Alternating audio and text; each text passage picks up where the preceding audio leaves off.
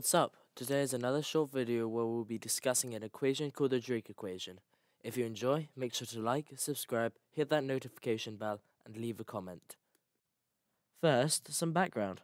The Drake equation was first written in 1961 by Dr. Frank Drake and was first presented at the first meeting of SETI, the Search for Extraterrestrial Intelligence. This gave Drake the nickname the father of SETI. Now, onto the actual equation.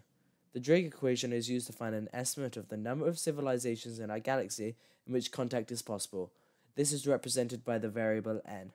Onto the next variables, the r with the dot is the mean or average rate of star formation in our galaxy, measured in years. f of p is a fraction of stars in our galaxy that actually have planetary systems. n of e is a fraction of these planets where it is ecologically stable for life to form. F of 1 is the fraction of such these planets that life actually develops. f of i is the fraction of these worlds where life becomes intelligent. f of c is the fraction of these worlds where this intelligent life creates technology capable of radio communication and radio astronomy, and this is marked as the beginning of advanced civilization. And finally, L, which is the average lifetime of these advanced civilizations, which is again measured in years. Now for the final discussion. The Drake equation can't be used mathematically yet because the variables on the right hand side of the equation haven't been set real numbers.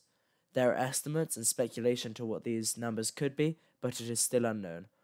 Although the variables still help with finding extraterrestrial life and maybe even making contact with it. Well, that's the Drake equation.